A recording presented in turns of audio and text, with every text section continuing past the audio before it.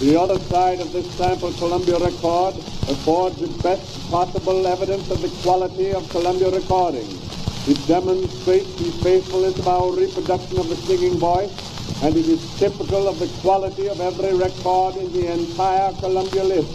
The standard price of 10-inch Columbia double disc records is 65 cents. As an interesting experiment, as well as a demonstration of the Columbia process of recording instrumental music, you will now hear some of the instruments of the Columbia Orchestra, commencing with the first violin and adding successively the second violin, the viola, cello, flute, bass, oboe, clarinet, bassoon, French horn, bells, cornets, and trombone.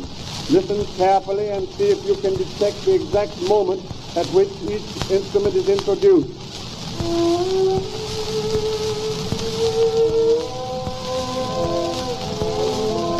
A